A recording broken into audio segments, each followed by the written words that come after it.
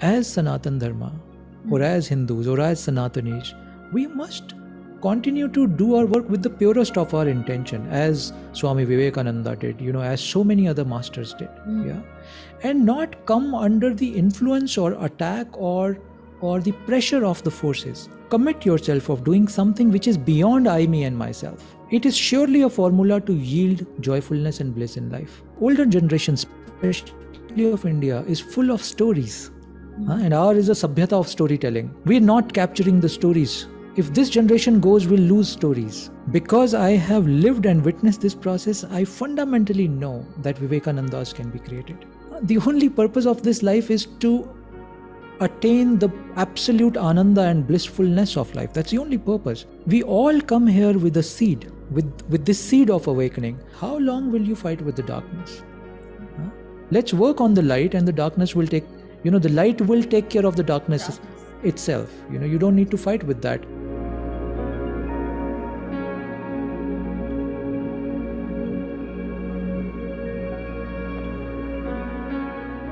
Welcome, everybody. Good evening, ladies and gentlemen. Welcome to another episode of the Life Positive Show. Tonight, we have a very special guest with us. He is Sri Anish Ji, whose interview appeared in the Life Positive magazine in the August issue of this year and created waves all across. So, we decided that this is the most opportune time to catch hold of him and listen to his wisdom from his mouth directly. Sri Anish Ji is a visionary spiritual teacher, mentor, author, and a public speaker. After spending many years as a CEO and an entrepreneur in the corporate world, a deep spiritual quest arose in him and he exited the corporate world to pursue this inner inquiry and move to the Himalayas. After over a decade of sadhana, he was guided to speak and touch the lives of many fellow beings on the path to lasting love, peace, and bliss. He has now entered into a second phase of work, which is the vision for the new humanity by raising the collective human consciousness. Uh, Sri Anish is also a writer and poet. His first book, Let the Mud Settle, will be out in a couple of weeks. Thank you, Sri Anish ji. It gives us great honor and pleasure to welcome you tonight on our show. We have many, many eager listeners who have come simply to listen to you. And I'm sure they will go back feeling hugely empowered, hugely enlightened by all that you have to share with us. So let me begin with my first question to you uh, tonight. Sri Anishi, you talk about creating a new vision for humanity, for raising the collective human consciousness. Now, what is this new vision? What do you mean when you say uh, about creating a new vision? Can you please Yeah. shed some light on? Yeah, yeah. First of all, thank you, Shivi, for for this platform. Thank you for such a warm welcome, and I welcome all the participants, all the listeners tonight. Um, I'm joining from Dharamshala, Dutch, where we are based, um, and there's a chill in the atmosphere already. Uh, weather is changing, and I think uh, not just the weather is changing, a lot of things on Earth and on the cosmic level are also changing. That is why um, I came up with a vision for the new humanity. Uh, many friends ask, is this a new vision for the humanity or vision for the new humanity? I tend to call it vision for the new humanity. Why? Because I think um, what we are looking for or what what we are looking ahead in future is also completely changing the way we operate, relate in this life with the world around us and within our own selves. Hence, this vision kind of came up. Um, to talk a little more about that, and I think Shivi, the format should be, of course, this is an interview, so you you should ask questions. But if time permits, uh, we should leave some space for questioning by the participants also, if the format allows that. You know, I leave it, up to it you. does, it, it allows, and that is the entire purpose of having Excellent. listeners, so that towards the end, they can ask questions to you. Excellent. That's excellent. Makes it Yes. more engaging than yeah? Right. Participatory. Excellent.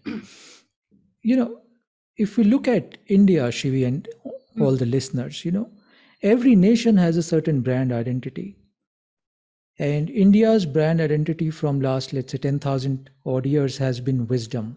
You know, our brand identity is not IT or anything else. Our brand hmm. identity has been wisdom. But somehow we moved too away from our own brand identity.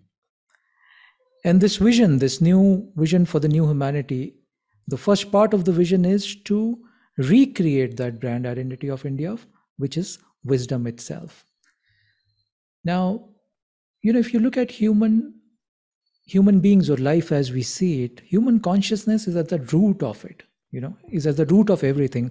Our physical well-being our emotional well-being our mental well-being our spiritual well-being and our conscious well-being. So consciousness is at the, at the root of it.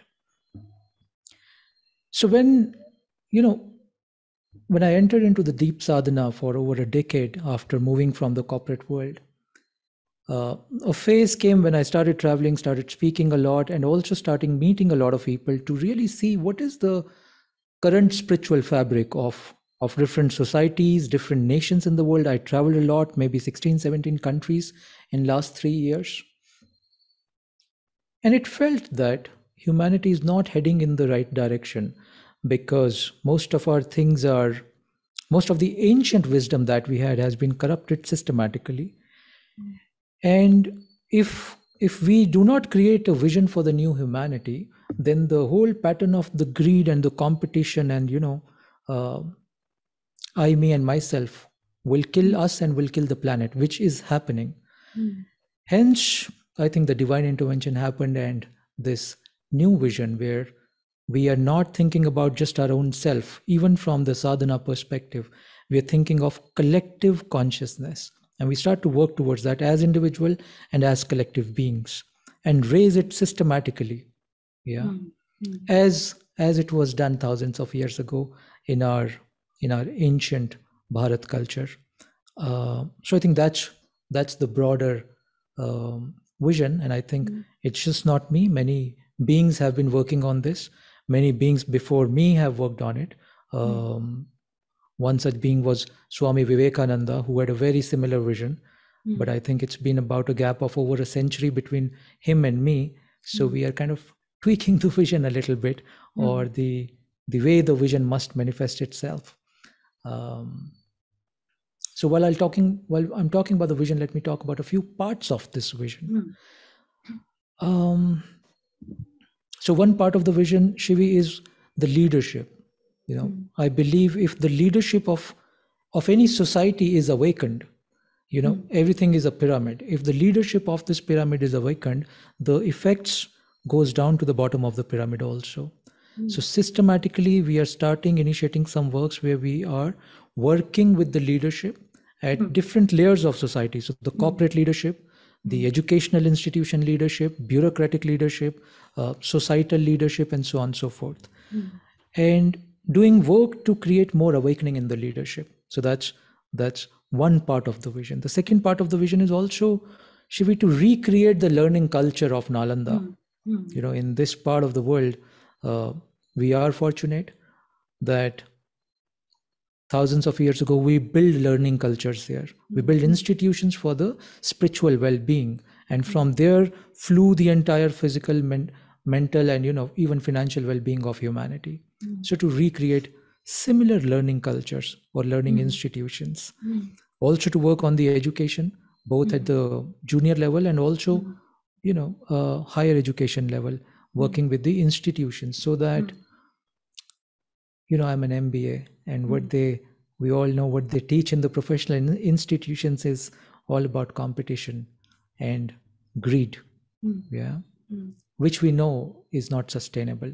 Mm. You know, humanity cannot have a fixed eight to nine percent of annual, you know, financial growth, economic growth, GDP growth on mm. limited resources on Earth. Mm. Earth is like this much with limited resources. How can you have unless endless uh, you know compounded growth. economic growth with limited natural resources mm. so i think the model is flawed somewhere so in the new vision we are we're talking about that also how, how, how would you plan to go about it because i think the biggest hurdle in this mm. direction is the media mm. itself which is mm. uh, crying day in and day yeah. out about the steady decline in the economic growth of this country and how the government yeah. should be held accountable for it correct uh, totally ignoring the fact that it cannot mm. be one sided and you know unidirectional and the the hazards it is capable of uh, mm. bringing in the human uh, condition as well as human society. Mm. Right. So when we are constantly being bombarded with this kind of Mm. information that it is so integral and essential to human happiness, especially economic growth, Correct. how do you feel that you Correct. can send your message across to this medium so that it stops and Right. listens and does you know, brings down its cacophony around Correct. this concept? Shiv, if you look at life, Hmm, everything is a narrative. Yeah. right. Media creates a certain narrative. We all follow that narrative. Hmm, I'm saying there was another narrative few thousand years ago, which we were following as a society, as a culture. And that narrative was very scientific, which worked for us. And the narrative was the narrative of four Purusharthas. Our ancient rishis and seers said, and this was very uh, research based, that there are largely four pursuit of human existence. Only four pursuits, actually, if you look at it. hmm, They said the first pursuit of human human existence is dharma. Dharma is, uh, let's say, law of nature. Understanding the law of nature. Yeah. hmm, And the law of nature is very simple. If you cut down all the forests, you won't have oxygen. That's law of nature. huh? In a very simple way. So they said the first pursuit of human being is to be established in dharma. They said the second pursuit of human nature or human being is artha. Artha is the financial well-being, the, the material well-being. And they said the seers, the sages, the rishi said that's a pursuit. huh? Nothing against it. hmm, So we said the second pursuit is artha. We said the third pursuit of human existence is kama. Kama is all kinds of sensory desires. Even that is allowed in in the in the ancient Indian system, right? In the wisdom system. And then they said the fourth purushartha, the fourth pursuit of human life is moksha, the final liberation. After you've gone through each one of this cycle. Hmm. Yeah. Now see how the narrative has been changed. Today, the first and the last narrative, or first and the last pursuit, has been missing totally, has been hmm, taken out of the narrative. Uh, Hmm. so we're not talking about the law of nature, the dharma. We're ta- not talking about the final pursuit, the moksha. We're only entangled in the second and the third pursuit, yeah, which is the artha and the kama, the financial riches or the material riches and the fulfillment of desires. Hmm, the ad it, it- you know the ad industry most of the industry that we see around is promoting that. Hmm, i'm saying there's a way to to bring back this old narrative the narrative which worked i think this is the narrative which made us sone ki chidiya yeah. Hmm, we build the entire society entire system of earning and living based on these four purushartha. Hmm, i'm saying there's a way to bring that back. Hmm, if we start to talk about it if we start to create small models of this narrative hmm, yeah. hmm, and how do you build a narrative basically? The more you talk about it the more you live it as a living example. Hmm, the more you create small models of a certain narrative it Mm. starts to go out people start to see it. People start to imbibe it. People Mm. start to get inspired by it. People start to live that.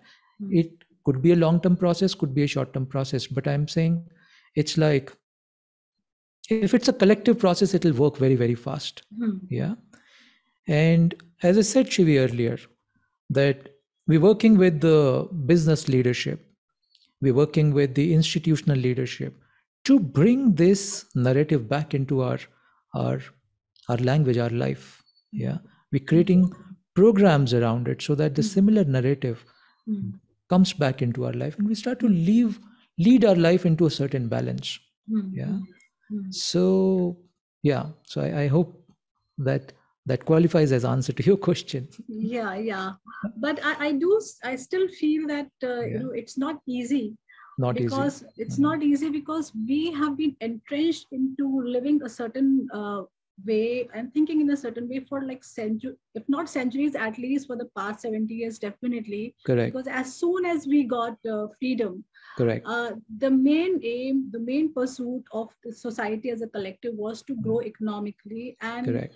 get out of that state of uh, deprivation and uh, Hmm. destitution which we have been afflicted with for a very long time I think, for centuries. Hmm. So for now, and, and 70 years is not uh, not a very big time. Hmm. For Hmm. it's it's a very small Hmm. time frame. Hmm. Yet at the same time, it has become it, it's like become all pervasive. This particular Hmm. thought that eventually the growth and happiness and prosperity will come only through economic means and through economic activity, Correct. which which is which which may not be all encompassing but has to be sorted selfish Correct. Hmm. and it works it doesn't doesn't Hmm. matter because we see Hmm. corruption which is like kind of infiltrating every Correct. every institution of the country and people are totally remorseless about it Hmm. so therefore i do feel that it's quite a Hmm. humongous task Hmm.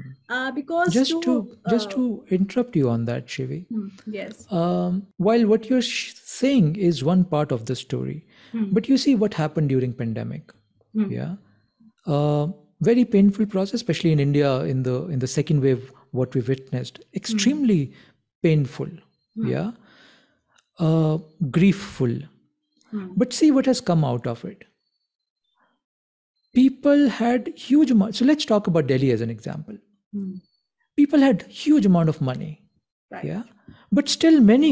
I know a lot of people, my own, you know, close family people, Hmm, uh, rich businessmen. They Hmm. couldn't save their loved one. Yeah, because they couldn't arrange for a for a cylinder of oxygen in time. Uh, money could not save them. Shivi, since then, the amount of people I'm seeing turning to the real happiness or trying to find out the meaning of real happiness hmm, has increased exponentially. It's like something has woken up suddenly in us. Yeah, you're absolutely right that we are and we were running after, you know, the money, the greed, the corruption, and the rest of it. hmm, Yeah, but this event has, you know, shaken all of us. right. Huh? i agree i agree Huh? There's always a blessing in disguise. Uh, in the pain comes the possibility. So, in this huge collective pain has come a huge possibility. If you look around, suddenly the spiritual discourse, the discourse around what is the purpose of life, the discourse around what is real happiness, it has gone up. I've seen in pubs people talking about it. Hmm, You know, I was recently in Delhi and uh, I had to meet a friend, and that's a hmm, it's interesting incident. So, hmm, uh, and I was very hard pressed for time. I was Mm. continuously traveling, and this friend said, "No, no, I have to meet you uh, for something very urgent." And I was Mm. passing through, you know, south of Delhi, a place called Khan Market. hmm, I said, "Look, we could just meet in Khan Market in 15 Mm. minutes. I'm just crossing." He hmm, said, "Done. You know, I'll be in Khan." Market. So now Mm. you, it was weekend. When you go to Khan Market on weekend, you don't get space. Yeah, the only place we could get space was a pub there, uh, a Mm. bar. Now you see me entering into a bar.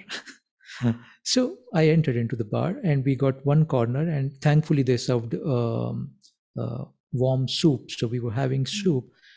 And I was just listening to the conversation, you know, because bars are usually crowded. I was just listening to conversation. In the bar, people were talking about young people, age group about, let's say, 24, 27 hmm, these guys were talking about you know what is the purpose of life? Why are we here? Why are we running so fast for our jobs our career? There's something missing. Of course i did not interfere in the conversation. Hmm, but for once i was really glad hmm, that the narrative is changing hmm, this is coming in regular discussion. Hmm, these are the signs of change you know the winds of change that i'm witnessing and all of us are witnessing. Right right. The question is can we ride on this? Hmm, there's a wave. There's a wave of massive transformation or transition. Question is can we ride on it?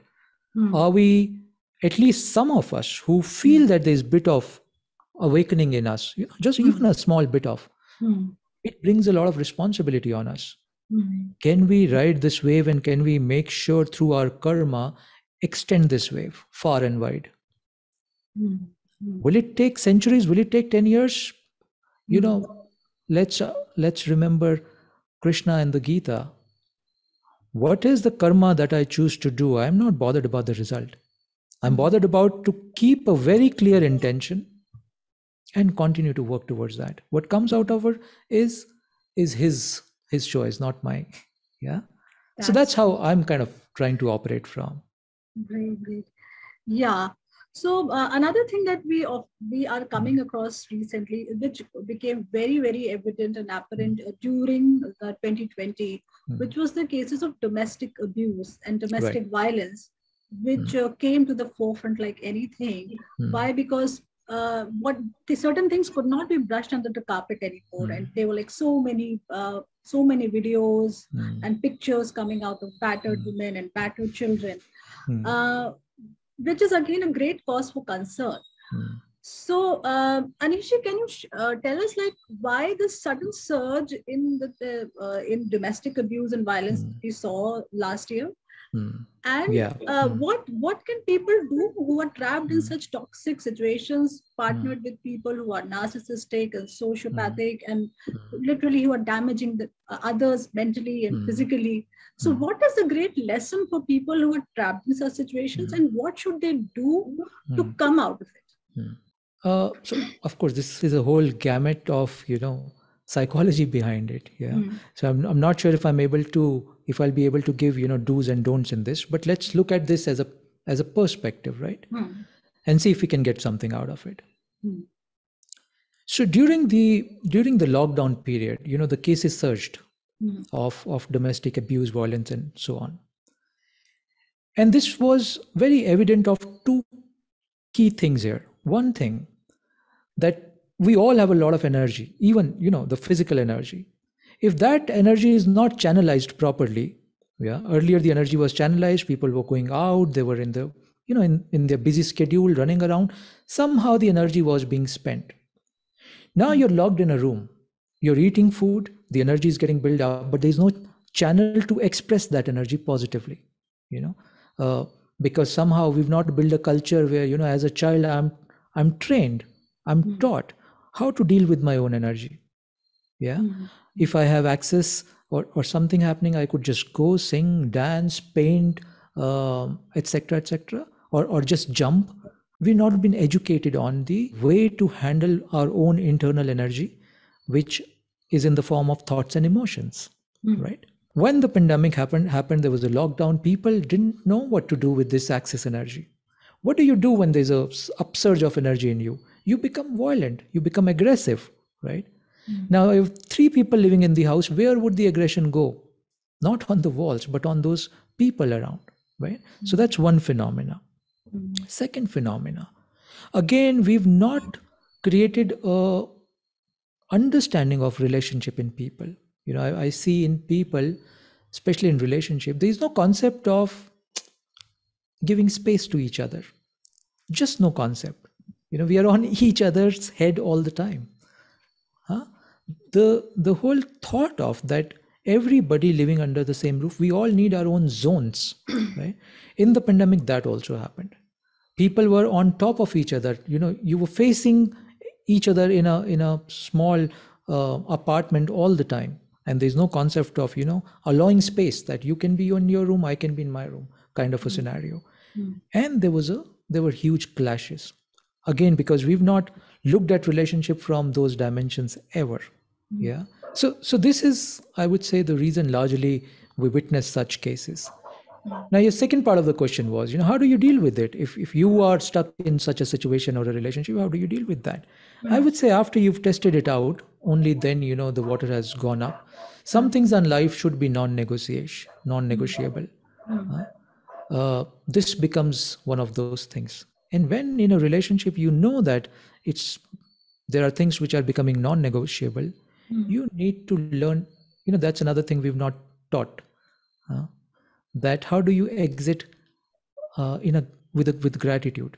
Hmm. you know i've not seen any relationship be it a personal or professional relationship which ends the exit ends with a very peaceful and a gratitudinal way.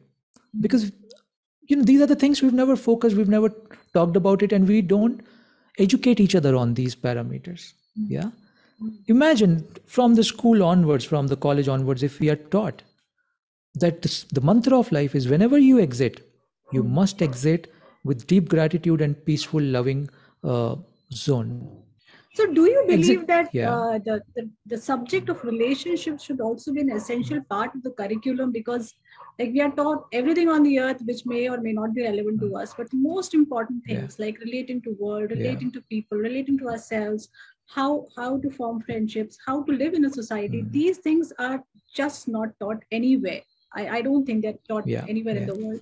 So do, do you feel that uh, you know this it is very important to have a new set of curriculum which has these important elements also uh, for for the uh, for the easy facilitation of human life on earth. Mm, Do you mm. feel it? Absolutely, absolutely. I would say, Shivi, the start of this is, Mm.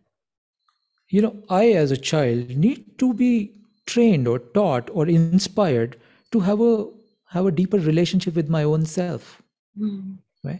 If somehow we can build that as part of the system, yeah, a systematic process. Mm. See, if you know how to deal with your own self, then you know how to deal with the others. Our Mm. problem is we don't know how to deal with our own selves. Mm. as, as I said, the case, you know, if there's an upsurge of certain emotional energy in you or, or mental energy in you, we Mm. don't know how to deal with it. Yeah. Forget about others for a moment. You know, hmm. this is the world for me. yeah.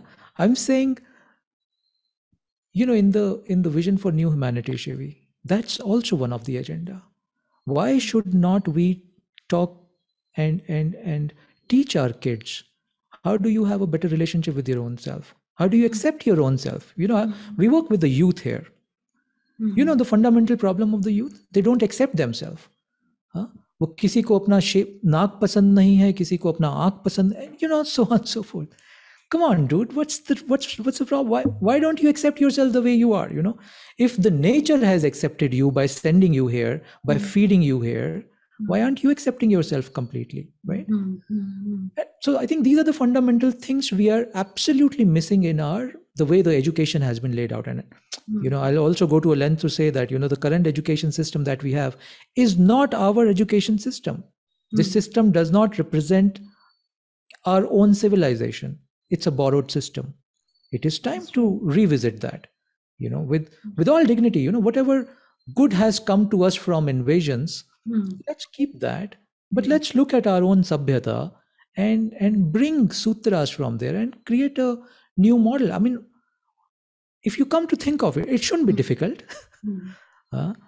every other day i meet vidwans of this country shivi they are full of wisdom if you bring these 20 vidwans in a room and you try to create a curriculum it shouldn't take more than 30 days Mm. it is not rocket science Mm. yeah but somehow i, I think we are failing our youth we're failing our our children but by not by not having the enough courage to a talk about it or to work towards this Uh, because do- maybe we are too caught up with our own Hmm. uh, do you think kapda. that the problem lies in not in this kind of knowledge system not being institutionalized uh, like uh, by the government itself because you know either you can teach it individually or different different spiritual teachers and masters can teach it differently but it's it does not guarantee that this kind of knowledge will reach everybody so Hmm. first to some extent there is a need for the institutionalization of this new curriculum so Hmm. that everybody gets access to it and nobody gets left behind. I- absolutely absolutely but shivi when we talk about institutionalization we always look up to the government i'm Hmm. saying fine that's one big sector there Hmm. but you see if you look at india let's talk about education you know i would say still a large part of education in india is held by private players Hmm. not with the government of course government has a certain reach Hmm. right Hmm. but with reach there is a dilution also Hmm.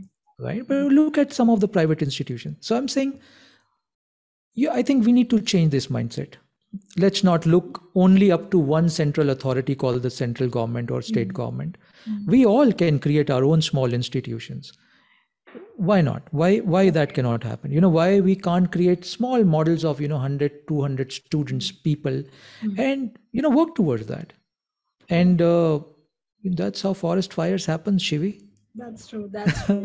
That's true.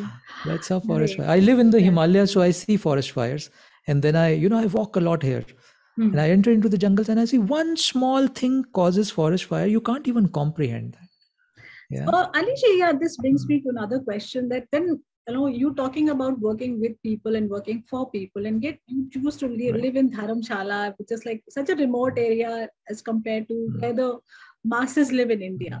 So does it Hmm. come in the way of you executing your vision? Because I mean, there's a less chance of you being at, able to actually meet and influence the people who need to be influenced by you. do you yeah ever feel that this is can be a handicap you're not really into the thick of things currently Yeah. at least physically so the scenario pre-covid was i was traveling left right and center Hmm. Huh? then the covid happened suddenly the online channels opened up so the need to execute your work without traveling Hmm. was out you know you could just execute from anywhere Mhm. however when the when the travel is again opening up i i, I said that i was just in delhi about a week ago right so earlier i used to feel pre-covid that you know uh, maybe we need to have multiple bases or maybe you know as you're saying you know you, Mm. from dharamshala to work in the cities but i think the channels are opening up now and Mm. also the part of the vision also shivi is uh, we will create multiple me's Mm. yeah i keep saying that you know we need about 100 more vivekanandas back in india uh, Mm. to uplift this whole system once again and that is not unachievable yeah? You put your heart and soul and your life and your blood into it it'll happen that way yeah? Uh, what role do you see uh, of women playing in the creating of in the creation of this new uh, say new vision for humanity? Because what I see is that women have not yet reached that complete potential. They're still so far behind in terms of equal participation in all walks of life. Hmm. Uh, and I feel that so many, and those who do have access to these channels of self expression are in so many ways sabotaging themselves and not really uh, able to come out of their, say, you know, the fixation with the body. Like, you know, Hmm. the self identification is with the body and not with their mind and soul as much as it should be. right Um, so, do you, you know, do you see any hope in this regard, and what can women do for themselves to Hmm. really be there in the mainstream and be the harbinger of uh, universal change, Hmm. which is which has space and opportunity for everybody? Correct, correct. So, first of all, Shivi, women would play a huge role in this process hmm, Mm. from the start itself. You know, if you look at life, you know, we are in the womb for nine months. That's our first training ground, actually. That's our first school. You know, Mm. there's a lot of research which is now proving Mm. that a lot of your conditioning and formation of your, you know, thinking patterns also happen in the womb. Huh? So that's the first school we enter into, first learning laboratory, so to say. Right now, that's where the foundation of a human being is laid. So women have a very, very huge role from the time of, you know, let's say pregnancy. Yeah. Which then means so so a is about the importance of you know shakti the women in this whole whole scheme of things you know i always say women is a manifestation of shakti and the mother at the same time hmm. women need to realize that more than you know other sexes it is very unfortunate that most of the women do not realize their own uh, i would say Power. their own power, their own potentiality, their own possibility. It's like you're suppressed because you somehow feel you're weak. And then look at a, okay, let's look at a body. You know, when a body has low immunity, virus attacks, right? It's a simple process. When you think you are low, you are attacked. When you think you're weak, you are attacked. Or, or you're, you're trying, you know, somebody tries to control you, etc., etc. Yeah. So the root of it, somebody feeling that somebody is weak or not equal. Yeah. Again, it's a narrative. Again, the more we talk about it, this narrative will start to change. Huh? Hence, there's a, you know, I can tell you stories and facts about facts, Shivi, where just by talking about a certain things, it starts to manifest. It starts to become a reality. Yeah. So women in in our setup especially you know i can give you our example in our setup we call this setup as Saadho Hmm? that's a word from kabirji you know suno bhai sadho sadho means oh seeker Hmm? so we're calling all the seekers out so in our setup in Saadho women have a very central role here because i'm seeing them as shakti i'm seeing them as mother and and, and we are constantly you know training them guiding them or nurturing them in in a way that you know they start to feel it. Mm. the day they will start to feel it recognize their own potentiality you know they will start to fly. You can't even you know then tame them so to say. Yeah? So very significant role. The fundamentally what i'm trying to say an extremely significant way uh, role and i think as a nation also women need Mm. to come on the top at at the at the in the government position in bureaucracy in corporate positions in educational institutions Mm. and i'm seeing that trend happening now yeah we are a very diverse and complex society or Mm. diverse complex nation but i'm seeing this change happening Recently, Anishji, there was a conference in the West on dismantling global Hindutva. Okay. oh Now, hmm, this was uh, very surprising for all Hindus uh, across the world because Okay. uh, because Hindus are uh, generally one of the most accommodating and most non-interfering kind of a community Correct. anywhere. hmm, So, for a hu- international conference being organized to dismantle Hinduism or Hindutva hmm, was was something which we didn't make sense at all to people Mm. because we are not a threat to anybody anywhere. hmm, correct Okay. Hmm. So, what do you think was the reason behind the organization of such a conference, and what Mm. should Hindus or Sanatanis hmm, uh, no, to take home from it? Like, uh, hmm. what, what could be the lesson embedded in, in this entire activity, which was uh, very shocking for most people? I Hmm. think I not only Hindus but even non-Hindus. I see. Hmm. Interesting. Hmm. Shivi, I don't know personally the peop who who were the people or you know organizations or institutions behind such conference. I I have no insight into that.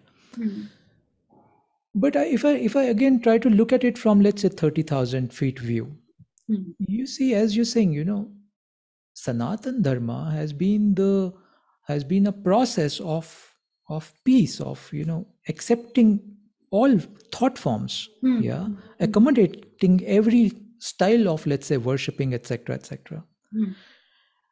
And this is like this goes back you know i think ours is the 10000 year plus old civilization only surviving civilization. And sanatan dharma if you look at the history was probably uh, over 5000 year old setup Hmm. right? But compare this with last 1000 years. I think because we were too open too accommodating too welcoming too uh, you know peaceful happy people so to say i and i'm trying to you know just relate with that.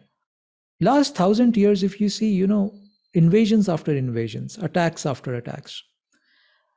Now our peacefulness or our accommodatingness was our strength yeah which got perceived as our weakness yeah. And because of that you know enormous amount of invasions and you know british rule it ended with british rule and we kind of lost a lot to that. Now so two scenarios huh? your accommodating nature and then thousand years of invasions. Somewhere after independence probably we started realizing about this yeah? May, may not be after independence maybe recently last five ten years we started realizing this. The moment we started realizing this we said let's reunite. Yeah let's reunite because let's bring our tradition our our ancient civilizations wisdom back now the problem today is whenever you try to regroup yourself Hmm.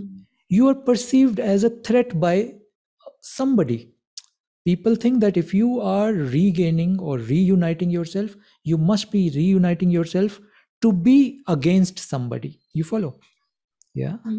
Hmm. Uh, it this is how the human mind works whenever 10 people try to reorganize themselves in a locality others feel threatened Hmm. yeah Hmm. but i think the world needs to realize that the history or the tradition of sanatan dharma is not that. Hmm. we are reuniting again so that we're not taken up for a ride ever again. We've lost too much because we have been taken up for a ride right? We don't want to do that anymore. So we are reuniting to preserve ourselves to nourish this culture yeah? Hmm. to create a better version of life with this with this ancient wisdom yeah Hmm. that is the purpose why we are reuniting ourselves but as i said you know Hmm. there are forces who will feel threatened Hmm. while there is i i don't think sanatan will ever threaten anybody Hmm. but today that's how the world has become you are you know if you talk about hindu dharma you are straight away plugged into you know this group or that group this wing Mm. or that wing Hmm. yeah so there i think these are phobias somehow uh, I would say the this is the nature of this yuga, the current yuga Shivi, uh, where even if you try to do good, uh, people will, uh, you know, judge you or or they won't believe look at, you. Look at you with suspicion. You you you're looked at suspicion. Mm. So that's the yuga. Unfortunately, you know, we are in. Uh, and then there'll be people, there'll be forces, there'll be institutions, you know, who will never trust the the true bhav from which you are operating from. Mm. Yeah. So these must be those people or those institutions. Yeah. Because they would see everything from their own lens. Yeah. Mm. Mm. And I think uh, we must always be very, very clear as Sanatanis, as Hindus, as you know, as as sons and daughters of this land. We must always be clear that why we are doing this. Are we doing it because we want to be against a certain nation, certain culture? Or we are doing this so that we become culturally strong, we become culturally wise, we become Mhm. economically, you know, better off. Yeah. And we become more integrated within our own self Mm. you know as a collective humanity huh? not one against the other i think that's the that's the intention which we must always be very very authentic or clear about yeah this this actually also surprises me because there have been n number of gurus and masters and Mhm. spiritual leaders and visionaries who have gone to the west who have propagated propagated the message of sanatan dharma of Mm, oneness and universal brotherhood and vasudhaiva kutumbakam and whatnot mm, to you know as many people as possible so that you know they actually get to understand the very basis or the foundation of sanatan's vision mm, and how you know the more you adapt to it the more uh, you know uh, more beneficial it would it would be for the humanity as a whole. Mm, and sanatan dharma has made uh, very distinct inroads into the west which is very evident because most of the masters including vivekananda or paramahansa yogananda or swami sachidananda and even today mm, including yourself Mhm. you keep visiting and you keep addressing people and yet uh, to to see this kind of, of fear in the western mind is really uh, not difficult to understand.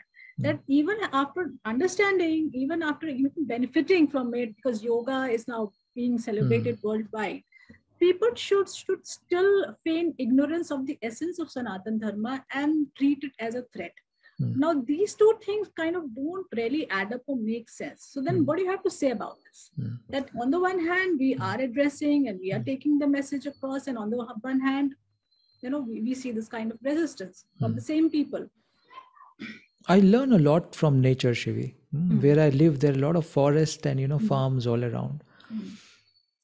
if you look at the way life works you know whenever you sow something so i see farmers let's say sowing a certain crop when they sow that crop no matter what they do there'll be a lot of weed which just comes automatically right now everybody would have a different way to deal with the weed Hmm?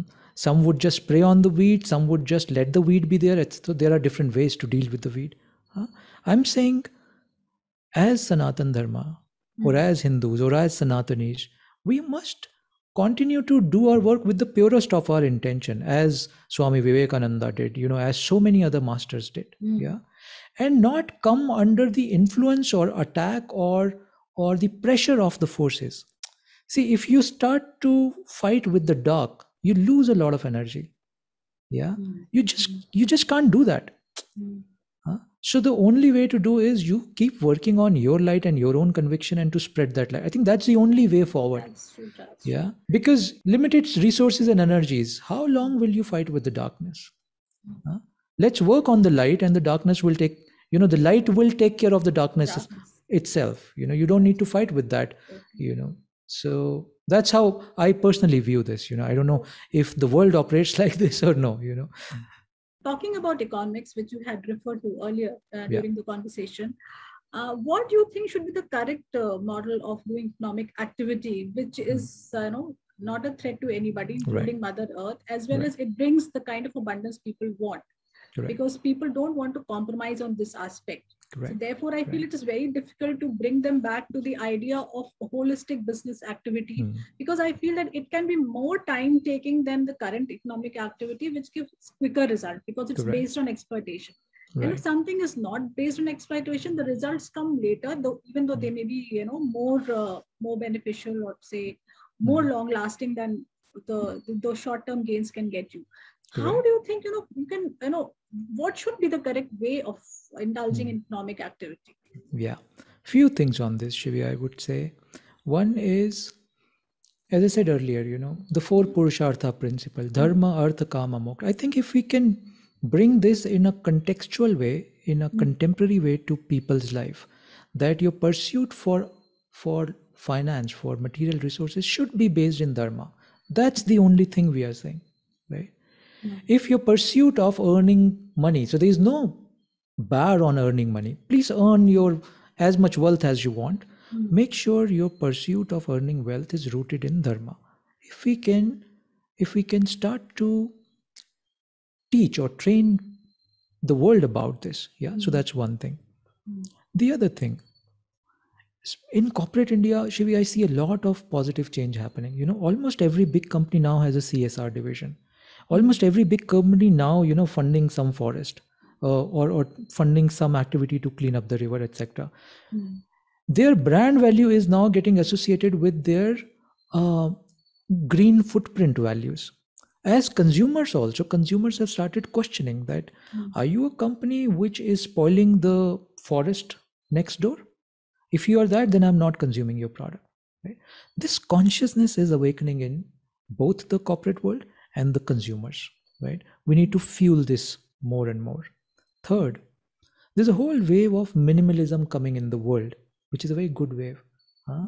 People are understanding, and as I was mentioning earlier, even during pandemic, you know, people understood they can't save somebody's life, some a loved one life, no matter how much money they have. Let's redefine the the the definition of luxury and comfort itself. You know, people thought living in a multi-story house in the middle of a city is luxury, but we have been seeing and we've been proven that you can't even breathe there properly. Is that luxury? Yeah. As I'm saying, people have started questioning these things that what is luxury is not drinking fresh water Mm. breathing absolute pristine air eating fresh food is that not luxury? And i think i'm meeting more and more people who whose definition of luxury and comfort have started to change. Shivi if this trend we are as i said if this trend this this wave if we can you know exponential exponentially put a lot of focus energy narration in this wave you know you will see that economic activity will start to balance themselves. Yeah? I'll give you another example that there are a lot of businesses who are just not about greed. You know in 1870 when jamshedji tata started the whole tata empire the first of its kind you'll be surprised that they were the first one to introduce schemes like employee provident fund esi uh, you know employee medical welfare etc Mm. when it was not part of even the government system a corporation brought that the fixed working hours for you know their employees Mm. they brought all of these welfare schemes huh? they brought the parameters that we will not encroach on nature yeah we will only take so much of nature and then we will uh, refill the nature so to say Mm. 100 years ago they started doing that Mm. of course in between lot of greed took over um, in the business not their business but in all businesses Mm. yeah but i'm seeing this trend is reversing itself. Uh, and again where is the root of all of this? The root of all of this are we conscious? The moment you and i become conscious you know spiritually little awakened all of these things will start to take care of themselves. Yeah. To me that is the root of everything you know. As we say in hinduism atma is the root of everything. Huh? i'm rephrasing it. I'm saying Mm. your conscious awakening is the root to everything. If that is fixed if that is fixed your emotional well-being will be fixed. If that is fixed your mental well-being will be fixed. If that is fixed your physical well-being will be fixed. That is how the the entire thing flows not the other way around. Yeah? We just need to reverse this trend from the physical now the physical has come on the forefront. Mm. i'm saying this adhyatma the spiritual the the conscious awakening must come on the forefront and then we must lead life uh, in the fullness of it with the absolute abundance of it Yeah. So I'll ask you one more, uh, one last question, and after that, I'll uh, you know, ask the listeners to please type their questions uh, in Sure. the chat box. For, uh, we'll, Sure. I'll take ask those questions. Anishji will answer. So uh, Anishji, can India really become the Vishwa Guru once again? Because Hmm. it's currently it is uh, struggling to uh, stay uh, stay adrift in the plethora of Hmm. economic and political and social turmoil which is Hmm. gripping the country. So, Hmm. is it possible? Do you see that Hmm. this vision can be realized sooner? Yeah. uh, uh, a feedback there, Shivi. Uh, a feedback there, because I've heard this this question, this term from very many people that will India or can India become a Vishwa Guru, etc. Mm. I'm saying why we are fixed with this thought. Why do we want India to become Vishwa Guru? Yeah. I'm saying, can we not just work towards it and, and see what happens out of it?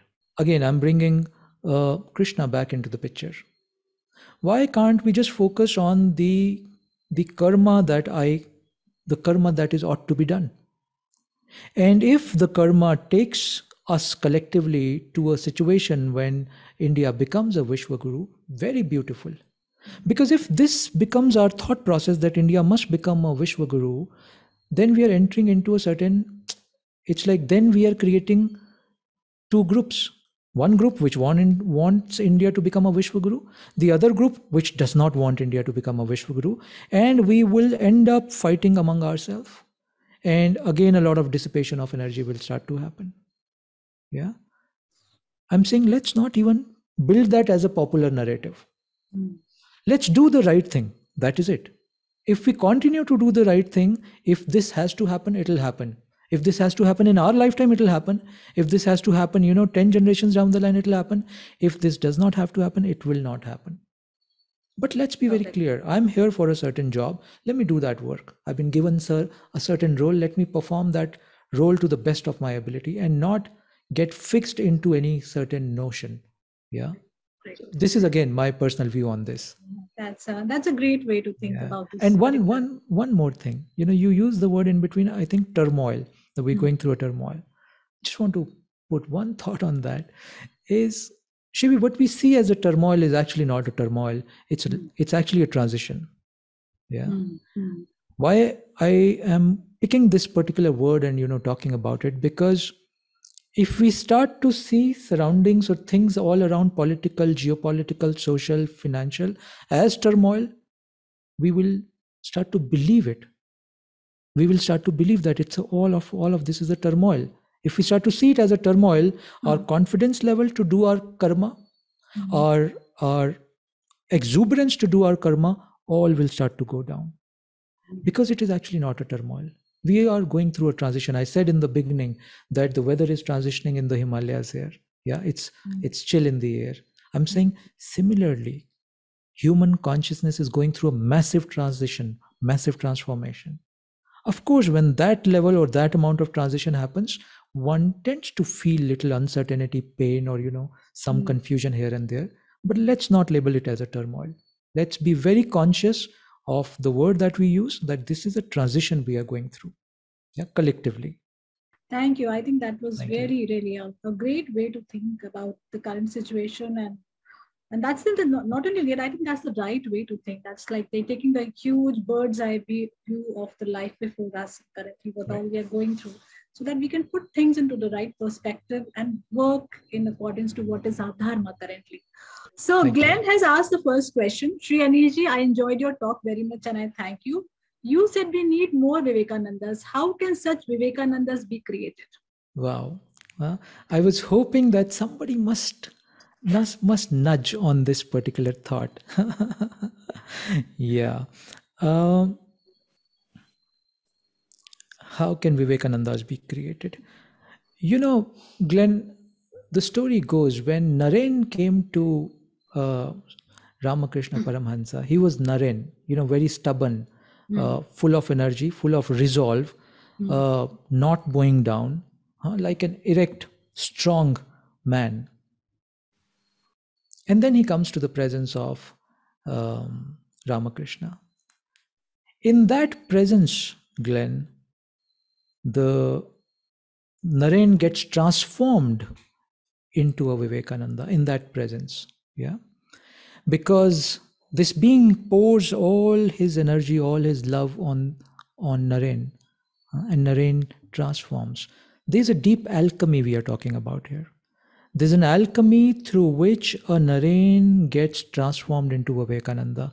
I have seen that um, that magic happen many times. I have seen the process how this magic happens. I might not be able to put it into words. I might not be able to prove this to you or, or to anybody, but I have witnessed this process. Yeah. Because I have lived and witnessed this process, I fundamentally know that Vivekanandas can be created. Yeah. I, I don't know if, if this gives you the satisfactory answer. Yeah. Uh, there's a bit of mystery around it. yeah. But uh, yes, hundreds Vivekanandas can be created. This is how life is. Okay. And I think we have entered into the right yuga, right time of transformation or transition where this alchemy will start to work more and more. Yeah. Okay. Um, yes. So we, yeah. we have uh, another question from Kajal. She asks, what should be the decision-making uh, criteria uh, to pursue a corporate life and find purpose there or, or, or alternatively pursue the spiritual path to progress? What should Hmm. be the criteria? So, Kajal, I would say the first criteria is if there's anything that you are doing just for yourself, I, me, and myself, yeah, it'll not yield happiness. It might yield immediate pleasure, short lived pleasure, but it'll not yield joyfulness. Yeah. Hmm. If you commit yourself of doing something which is beyond I, me, and myself, it is surely a formula to yield joyfulness and bliss in life. Mark this as a mantra. Now, mark this as a mantra. Now, evaluate every decision of yours in life based on this mantra. Yeah. Big, and I'll, I'll do a precursor of this. You know, people ask me, what is the purpose of life? Uh, The only purpose of this life is to attain the absolute ananda and blissfulness of life. That's the only purpose. You know, what Buddha got after so much of tapasya, nothing. It was absolute sheer joyfulness and ananda. That's the ultimate purpose of life, right? So use this formula to evaluate. If you're entering into the business world, in the corporate world, evaluate. If the nature of work is only for I, me, and myself, or if the nature of work is such that it does add some value to to all the stakeholders or the people around or the nature around or the communities around if your work is adding value to the society around to nature around to communities around to larger humanity around to all forms of life around it's worth investing your life energies into if it is not it will bring a little bit of pleasure here and there but uh, you'll keep struggling for the joyfulness of of or the exuberance of life yeah That's so a great, great yeah, answer. Okay. So we have another question from Vij- Vijayan Nambudripal. Guruji, while enlightening us about the change humanity, or rather a revisit humanity, you mentioned about, about the youth in the bar, the women, uh, etc. Why we should not think about the section of society who are at the threshold of old age to propagate this idea. For it, they can be the one. For they, they will be the one who can imbibe the concept easily. Like he's talking about why only youth Right. and women, why not yeah uh, the senior citizens. See, well, this entire process is very inclusive, my friend. You know, so we are not excluding any section or any age group out of it. huh? My my view is till the time the breath is on, there is a possibility. It has nothing to do with age. Till the time the breath is on, no matter what your age is, there's a possibility of transformation in your heart, right? Now, talking about the the the old old people. One of the things that i think uh, i've been talking to a lot of people uh, because i don't have time to do that but i'm talking to a lot of people to try to instill that thought or idea that older generation especially of india is full of stories huh? and our is a sabhyata of storytelling. Mm. we're not capturing the stories. If this generation goes we'll lose stories. Yeah? I'm saying let's create some channels where we bring the older generation as volunteers to let's say kindergarten schools to mingle with the young child children there and to narrate the stories to them. So both way they get benefited. The old people get a lot of exuberance and freshness of life because they tend to get little you know dull because it's the last leg of their life. And the young children gets to learn the life transformative stories from their wisdom. We need to if we can bridge somehow these two segments it'll be great. Yeah? Uh, but fundamentally we're not excluding any any age group. I will actually go on and say we're not excluding any life form. Mm. forget about old age. Yeah spiritual process or or the transitioning process is such that all life forms will get affected. If you start to do pravachan in a true manner you know even the plants around you start to you know grow better. Yeah so all hmm. life forms get impacted. Yeah. Okay. So aisha has a question to follow up from the first question. If vivekananda is created shouldn't the seed already be ready in that person waiting to sprout? Something should be ripe within for the person to be transformed. Isn't that's a question. Like unless and until the seed is there hmm. no seed can uh, sprout into a vivekananda. Correct uh, correct that. So how do you think correct. that we can make it possible for, for yeah. so many vivekanandas if the seed yes. itself is not there? Correct. I'm saying or i'm asking rather is there any human being in life who does not have the seed? Yeah no. We all come here with a seed with with this seed of awakening with this seed to transform into a vivekananda. Every human being comes with that seed do we allow that seed to flower or not is usually our choice. Yeah? But i will not say only our choice. It also depends on the surrounding on the environment. Huh? it depends on a lot of things. It's a it's a bit of a complex process. However it it it has a huge component of you pouring your attentiveness your energy into making sure that the seed sprouts. Mm. yeah? So that's the element i'm talking about. So I'm, I'm saying two things here. I'm saying Number one, there's not even a single human being who does not come here with the seed. First point. Second point, I'm saying, if you do not put your conscious energy to nurture your own seed, don't expect the miracles then. Yeah, do not be dependent on the external forces alone. They have a certain role, but more than that, you have a major role. Yeah, it's a combination of yin and yang, so to say. Huh? Hope that okay. qualifies again as an answer. okay, so they're like, uh, thank you, Guruji. Thank you very much, says Vijayan uh, Namboodiripad. Uh, are there any more questions? Anybody else who's there is, wishes? Really, there is there is a question which was asked by Mukesh uh, Saraswat. If consuming milk of animal by us is against nature, there are multiple theories. I think Mukesh, huh? There are multiple theories around this you know from science domain and from you know spiritual domain. Um, if you look at it i think consumption of milk of a certain species by another species is, is somehow does not fit into the right understanding you know. Mm-hmm. one species um, milk is is given by nature for its own offspring right technically speaking. However, we explored in the past and we said, okay, no, no, the component of this milk is such that even human species can also consume it without much damage. Now, science is saying, you know, there are two sections of scientists. I, I recently came across a book which I think the title of the book was Milk is Poison or something like that. Yeah, or Poison in Milk. The Silent Killer. No, no, the yeah, the title of the book was The Silent Killer now that that so so i'm saying it has not so there's no adhyatmic element to it first of all. You know let's not put into the spiritual element of it. Okay let's simplify it for the sake of this discussion. Let's own i know two types of people. One section of people who consume milk and they feel deeply bloated. Huh? Really bloated and they can't function properly huh? There's another section of people when they drink milk they feel energetic. I'm saying listen to your bodies uh, let's not bring any spiritual angle or religious angle into it. Uh, listen to your own bodies and you will get the answer. If this compound, this milk is working good for your body, please go ahead. Uh, don't bring any don't bring any mental concept into it.